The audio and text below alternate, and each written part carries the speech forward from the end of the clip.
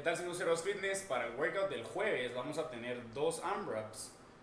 Primero tenemos un AMRAP de 8 minutos que va a ser de 10 box jumps a 24 pulgadas los hombres, 20 las mujeres, 20 sit-ups y 30 air squats. Al terminar vamos a descansar 4 minutos y vamos a pasar a otro AMRAP de 8 minutos, ahora de 5 box jumps, pero con una altura más alta.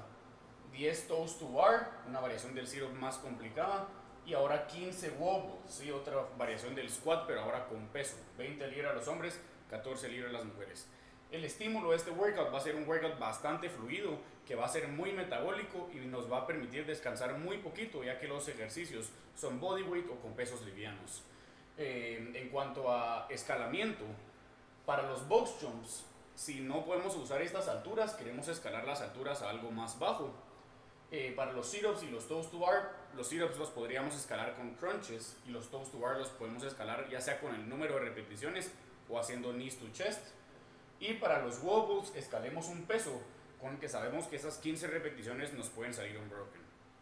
Para la estrategia de este workout, es un workout de, que va a ser de una duración larga, 16 minutos de trabajo, pero 20 minutos en total. Entonces queremos mantener un pace bastante constante y estable desde el principio asegúrense de no empezar muy rápido en este primer AMRAP, recordando que hay dos AMRAPs en total. Eh, tratemos de mantener bastante fluido este workout. Eh, podemos escoger un ritmo en cada uno de los ejercicios que no sea tan rápido, el ciclo de los movimientos no tiene que ser tan rápido, pero tratemos de eliminar esas transiciones por completo, idealmente. Eh, en todos los movimientos vamos a poder trabajar bastante fluido, menos en los toes to bar. En los toes to bar, si somos atletas avanzados, tratemos de irnos unbroken pero si somos atletas intermedios lo podemos partir ya sean dos o tres sets con descansos rápidos. En estos wobbles sí quiero que todos escojan un peso con el que nos podamos ir unbroken. ¿sí? Y por último, el reto para el día de hoy va a ser que en este segundo AMRAP logremos hacer más rondas que en este primer AMRAP.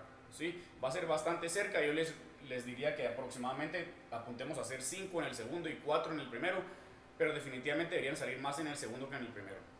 Démosle con todo, muchachos, espero que se lo disfruten.